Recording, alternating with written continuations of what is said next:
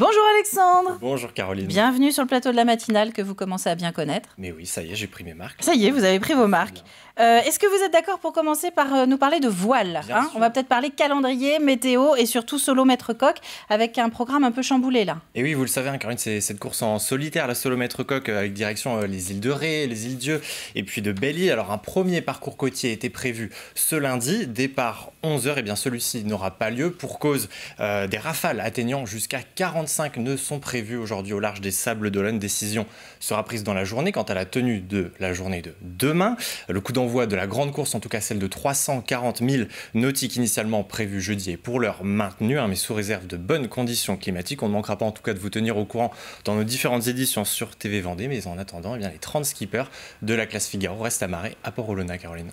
Euh, du basket à présent avec la Ligue féminine, c'était la 16e journée. Landerneau, La Roche-sur-Yon et La Roche qui s'impose. Et oui, déplacement euh, dans le Finistère, chez l'avant-dernier de cette ligue, ça se passait à la cimenterie, c'est le nom de la salle. Et le moins qu'on puisse dire, c'est que les Lyonnaises ont livré une prestation béton. Euh, Oh le jeu de mots Pas mal, hein, je l'ai préparé hier, hein, celui-ci. hein. La Roche en rouge va infliger un plus 17 au Landernais en tout début de match. Une entame parfaite, le RVBC mène déjà 30 à 11 à la fin du premier quart. Le deuxième quart est plus équilibré, le RVBC maintient la distance avec les Bretonnes. À la mi-temps, les Lyonnaises sont devant assez largement, 47 à 27. À la reprise, l'écart eh poursuit, se poursuit et La Roche Vendée Basket va s'assurer une, fin de match plus tranquille. 10 dernières minutes tout autant à sens unique en faveur des joueuses de Manu Baudy. Landerneau est complètement passé au travers et La Roche a su en profiter, il faut le dire. Victoire 96 à 60. Le RVBC met fin à sa spirale négative de 5 défaites et pointe à la 7 place au classement.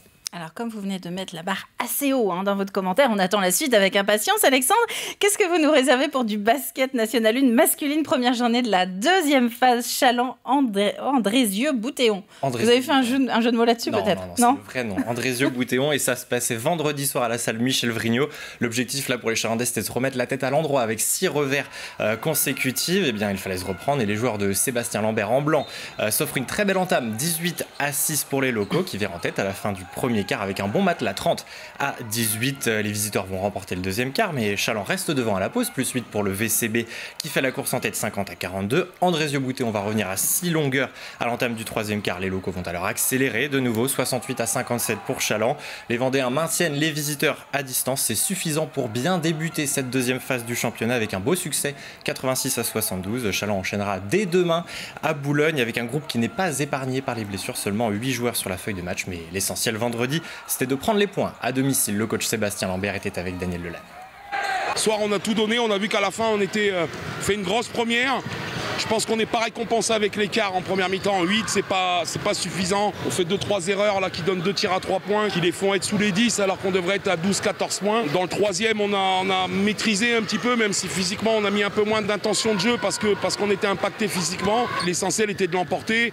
L'essentiel était de montrer euh, vraiment un état d'esprit conquérant pour pouvoir sortir de cette euh, spirale un petit peu de défaite dans laquelle on est, même si on a fait quelques bons matchs. Et ce soir, c'est tout un groupe qui gagne, c'est tout un club qui gagne, donc c'est très, très bien.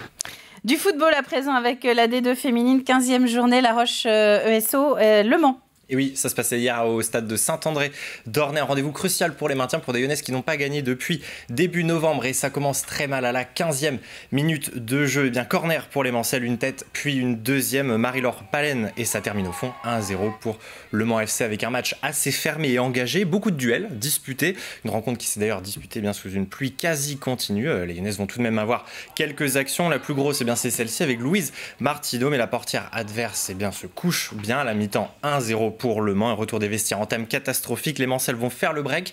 La numéro 10, Gasnier, trouve Naomi Vagré dans la surface. Deux buts à rien en faveur des Mancelles. Et à l'image de la première période, plusieurs occasions à se mettre sous la dent pour La Roche, mais un cruel manque d'efficacité. Le poteau, ici trouvé par Charlotte Fetty à la 74e. Un but refusé ensuite pour hors-jeu. Le score en restera donc eh bien, à 2 à 0. Les Ornésiennes s'inclinent. Reste lanterne rouge à 8 points du premier non relégable. Le maintien s'est peut-être envolé hier après-midi avec ce nouveau revers. Sandrine Pelletier était avec le coach Fabrice Bouillet.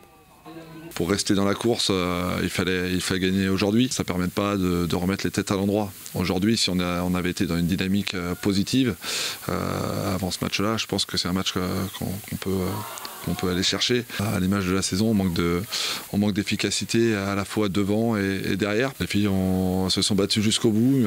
malgré tout, aujourd'hui le constat, le constat comptable il, est là et, voilà, il va falloir faire avec, rester unis pour, pour finir du, mieux qu'on peut la saison. Alors, on va rester avec des joueuses, mais on va parler de handball à présent. National 2 féminine, 16e journée.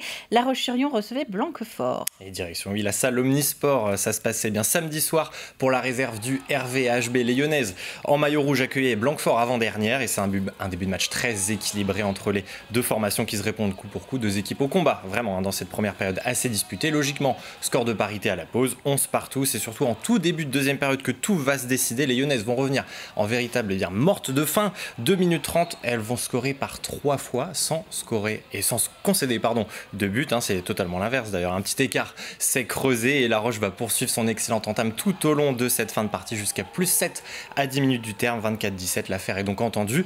Pour les Lyonnaises qui vont maîtriser les dernières minutes et s'offrir un deuxième succès de rang, victoire 29 à 22, une belle satisfaction pour la coach de cette équipe 2 de La Roche Vendée Handball, Coralie Siret, qui était avec Sandrine Pelletier.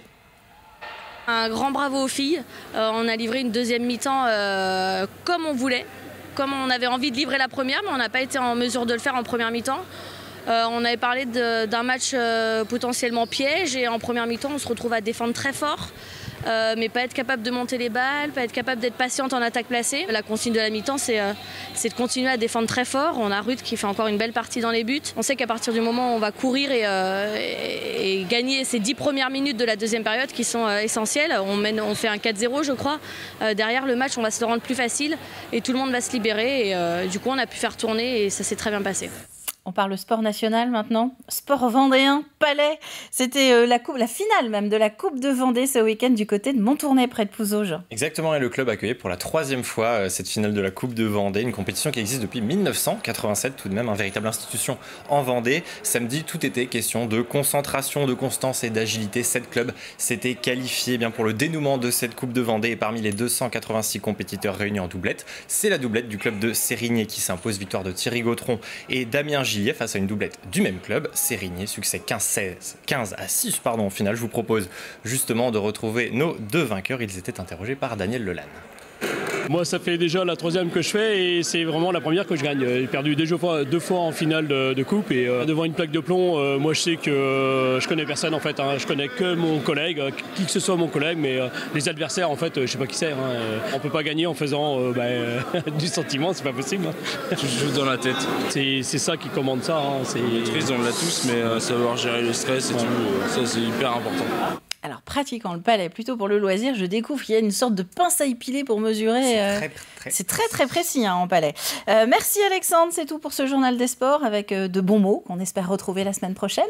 En attendant, on vous retrouve ce soir, dans, on retrouve Aurélien Huard, surtout dans 85 chrono. oui, à partir de 18h45, tous les autres résultats, les autres images, et Aurélien recevrait bien Scotty Rio du comité départemental du sport en milieu rural de Vendée.